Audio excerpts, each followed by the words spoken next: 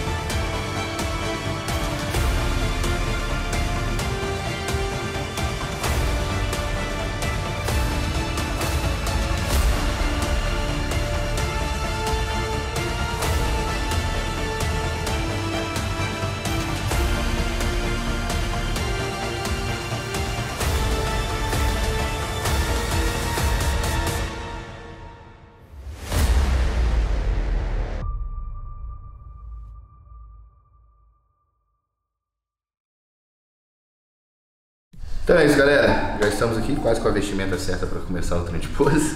Falta tirar a calça. Esse, apresento vocês, Maurício Bueno. Obrigado por estar aqui com a gente no canal. Conta um pouco do seu trabalho aí. Maurício, ele é treinador de pose. E tem que deixar aqui que pra mim ele é o melhor do Brasil.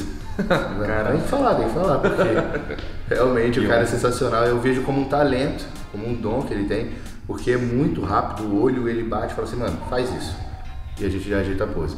Tanto que meu primeiro treino com ele eu achei muito estranho, que a gente foi, gastou aqui uns 10 minutos no banheiro. foi, no foi, banheiro geral. No banheiro do geral. Ele chegou lá, faz isso, faz isso, faz isso, faz isso. Tá bom. Eu falei, acabou? Ele, é isso, encaixou, pronto. Eu falei, caramba, mano, e realmente comecei a treinar em cima daquilo e veio toda a diferença. Hoje vamos fazer o seguinte, Maurício, eu vou fazer as poses do jeito que eu fazia antes. Pode ser. E aí a gente mostra os detalhes que você ajustou para chegar. E eu vou pedir ao Alexandre também para colocar as poses do Porto Rico junto do lado das poses do Europa Pro. Excelente. Beleza? Então vamos lá, se prende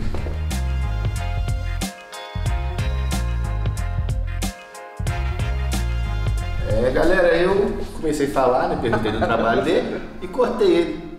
Fala do seu trampo, mano. Vamos lá. Quantos Anca faz, coloca vestimenta de, de um classic, ou seja, a Sungui. Eu trabalho com pose já tem uns seis anos. Uh, eu acompanho o Zancanelli, cara, querendo ou não, é um fenômeno genético, acompanho ele há muito tempo e já tinha minha, minhas opiniões sobre poses, referente ao físico dele. Uh, avaliando o físico por fotos, por vídeo, mas nunca tinha parado para avaliar pessoalmente. Aquele dia no banheiro, como ele falou, perdemos 10 minutos e eu coloquei a minha opinião dentro da minha visão da, de poses para Classic e de poses para o Zancanelli, porque tem essa diferença. Ele precisa posar como um classic e também precisa adequar essas poses ao físico dele. E esse trabalho que a gente fez no banheiro, a gente foi aperfeiçoando e estamos aí melhorando cada dia mais as poses dele. Bora. Bora lá? Então é isso, galera. Como eu disse para vocês, vamos passar primeiro as poses como eu fazia antes, né? E o Maurício vai fazer as correções necessárias para chegar ao que é a pose hoje, beleza? Vamos lá, Zanca. As compulsórias, duplo bíceps. Galera, reparem que o Zancanelli tem pernas muito fortes. E a ideia era sempre ele pegar e destacar as pernas, antigamente. Então ele posava até com as pernas mais abertas do que isso. Ok, você destaca um ponto forte, porém você esquece o ponto fraco, entre aspas. Você faz o tronco dele virar um ponto fraco. Por quê? porque as pernas estão chamando muita atenção.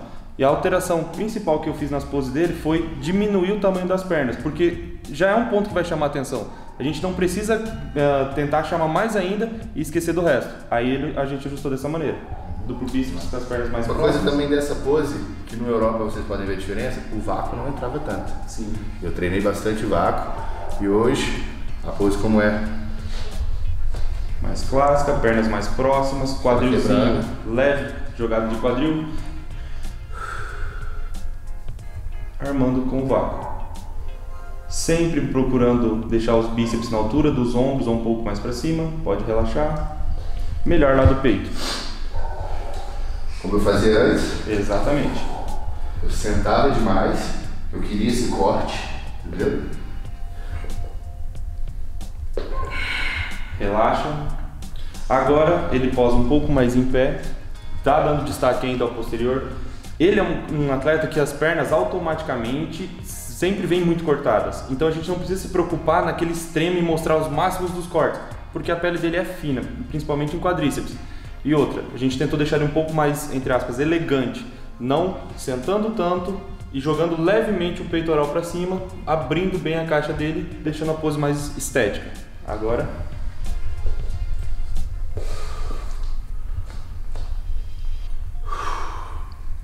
Abaixa o ombro esquerdo.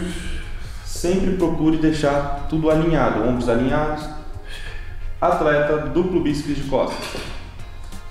Como eu fazia antes. Exatamente. Aqui uma das principais mudanças nas pernas dá pra ver nitidamente na pose do Europa Pro.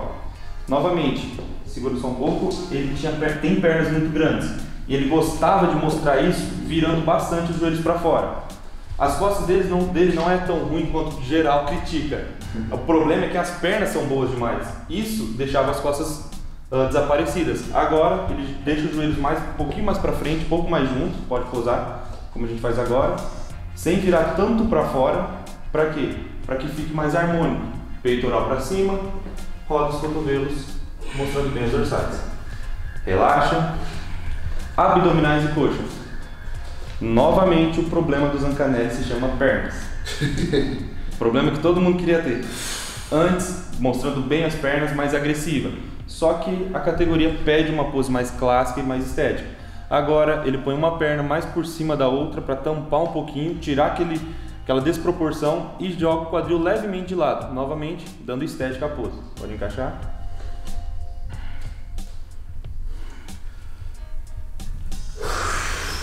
Reparem como as pernas ficam do mesmo tamanho das dorsais.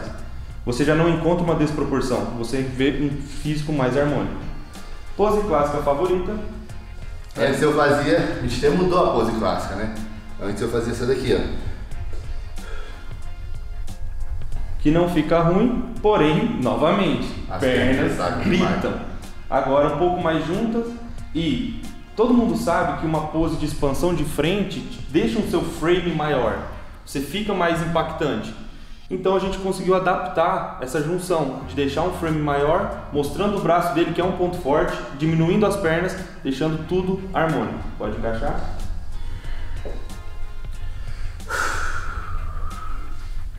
Vácuo vindo forte, mostrando o braço dele que é um ponto forte também, diminuindo as pernas, deixando ele mais largo por inteiro. Respirar. Rapaziada, o nosso treino de pose funciona dessa maneira. Vou deixar o Maurício falar que vai falar de uma forma bem melhor do que eu, mas começamos passando as poses compulsórias, ele dá uma olhada em ajuste que precisa ser necessário. Como a gente já está mais tempo treinando, ele fala assim, não, as poses estão boas, estão encaixadas, estão legal. O que a gente precisa treinar? Que é a parte chata do negócio, segurar a pose. Muita gente sobe no palco despreparado para isso. O que, que acontece? Cansa, perde contração, começa a suar, escorre tinta. Então, várias coisas podem prejudicar você no dia do palco se você não fizer esse tipo de treino. E como funciona? Ah, vamos travar ele na pose por.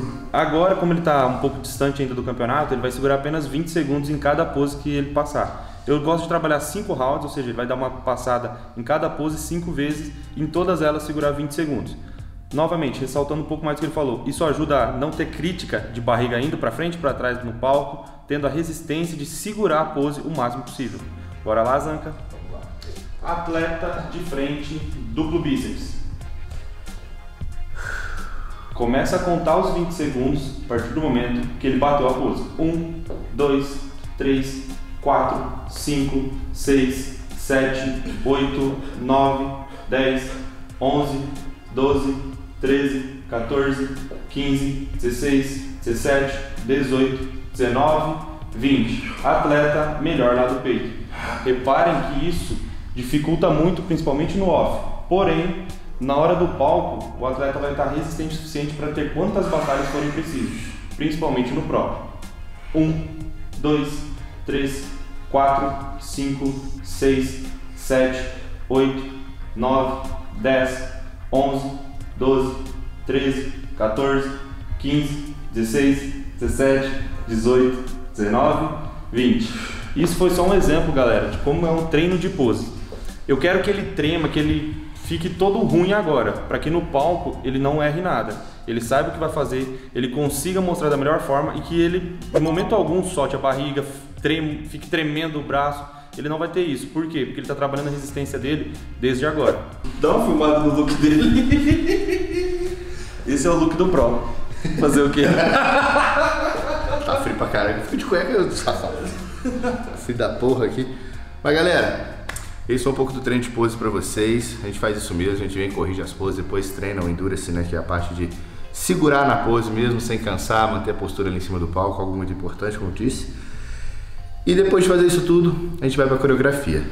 Mas a coreografia eu não vou mostrar para vocês. A coreografia é só no dia do Olímpia, é uma surpresa, mas eu prometo, junto desse cara aqui, trazer algo muito especial. E se você ainda não viu a coreografia do Porto Rico, se liga aí, como foi. Se vocês curtiram a do Porto Rico, Prepara para o do Olímpia, né? a do Olímpia vai vir zica. Aí sim, então. Quero agradecer esse cara, mano. Obrigado por ter vindo aqui no canal com a gente. Quero também enaltecer seu trabalho, falo que eu sou muito fã. E também para quem não conhece, gente, vou deixar deixa o Instagram dele aí, o Alexandre, fazer um favor, Maurício Bueno. Esse cara é sensacional no que faz, tenho total confiança no que ele passa para mim. É a pessoa que fala assim, mano, faz isso que vai ficar bom. Eu fecho o olho e faço, só obedeço. Então é isso, mano. Obrigado mais uma vez. Agradeço. Tamo junto. Trabalhamos com homem, mulher, qualquer categoria, a gente dá jeito. Ele usa salto, cara. Ele fala que é profissional. Eu já não acredito. Vai. Fez a Marcela virar pro. Fez a Marcela virar pró. certo. Ele também ajudou a Marcela no. Ih, mano. Nem vamos falar seu currículo aí não. A galera vai lá e procura pra saber quem é. Gente, se gostou do vídeo, deixe seu like, seu comentário, se inscreve no canal, ativa as notificações para estar sempre recebendo e acompanha a gente nesse novo quadro aí, Holt to the Olímpia, até nosso palco lá tão querido que o Brasil todo quer. Valeu!